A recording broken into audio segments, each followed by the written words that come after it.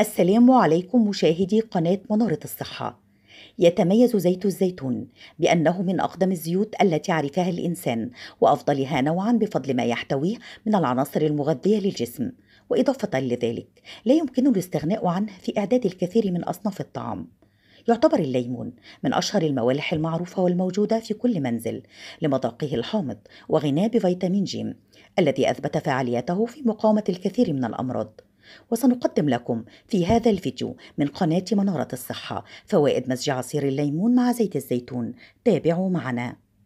لكن قبل أن نبدأ ادعمنا بوضع لايك للفيديو والاشتراك بالقناة مع تفعيل جرس الإشعارات ليصلك كل جديد. أولا يساهم في الحفاظ على الكبد وعلى وظيفته. فالكبد من أهم الأعضاء المسؤولة عن تنقية الدم.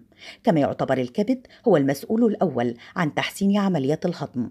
فمع الليمون وزيت الزيتون يصبح الكبد أكثر صحة ويحميه من الإصابة بمرض الالتهاب الكبدي الوبائي وذلك بالقضاء على الفيروس الذي يسببه لذلك ينصح بتناول ملعقة من الليمون وزيت الزيتون قبل الأكل ثانياً يحتوي المزيج على كمية جيدة من الأحماض الدهنية غير المشبعة ومضادات الأكسدة التي تقوي من مناعة الجسم من الإصابة بالعديد من الأمراض.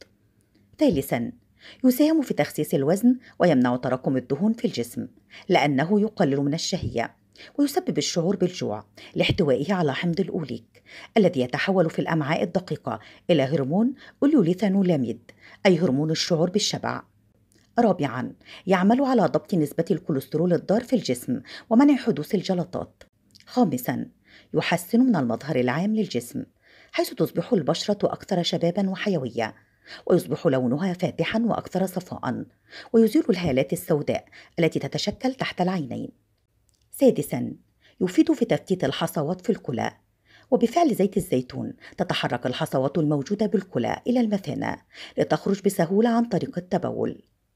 طريقة مزج الليمون مع زيت الزيتون.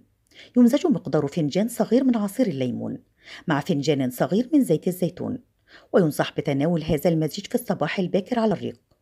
وفي الختام.